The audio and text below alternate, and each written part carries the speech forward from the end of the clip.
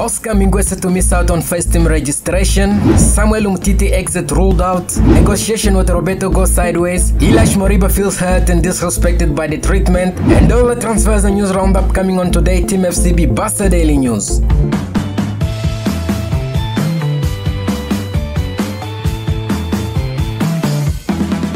So first up, due to lack of squad numbers, Barcelona cannot register central defender Oscar Mingueza as a first team player. Since numbers between 1 to 25 can be used to register first team players according to La Liga regulation, Barcelona so far have 23 players in the first team with finalized kit number. Because Mingueza is still a reserve player without a number, the Catalan club has until August 31st to register him with the first team or B team. The situation is concerning until Miralem Pjanic and Samuel Umtiti possible transfers are resolved. The same can be said for Philippe Coutinho who is currently without the kit number.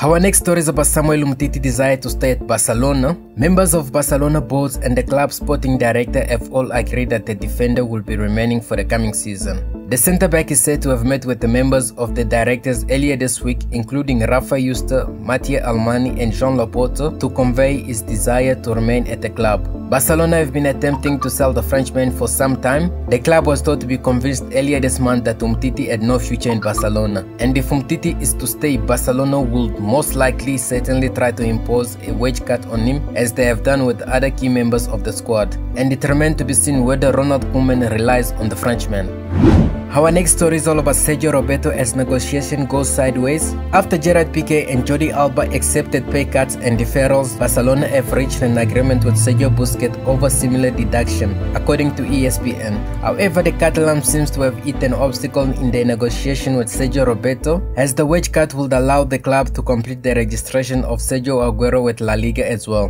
The 29-year-old is in the final year of his contract with Barcelona and being one of the captains, he is happy to take a wage cut to help the Catalan in the current circumstances. However, the versatile midfielder is said to be unhappy over the terms being offered by Barca, who are willing to extend his stay by two years but with 40% pay cut. It is claimed that Roberto has multiple bigger and better offers from elsewhere.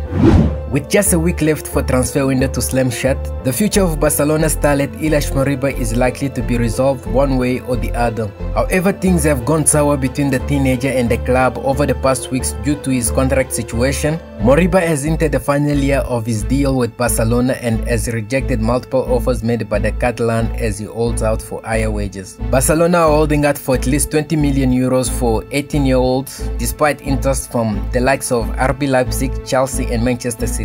It remains to be seen whether Barcelona finds Chelsea offer of 17 million euros acceptable or maintain their stance on the 20 million valuation. A failure to come to an agreement means that Moriba remains at the club for another year before leaving for free next summer.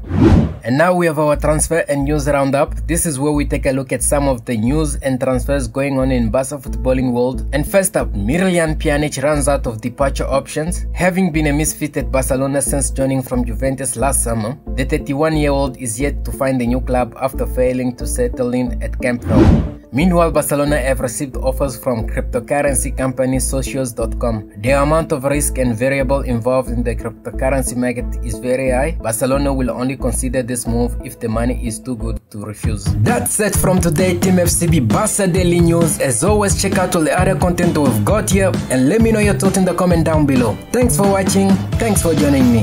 Until next time, see you all later.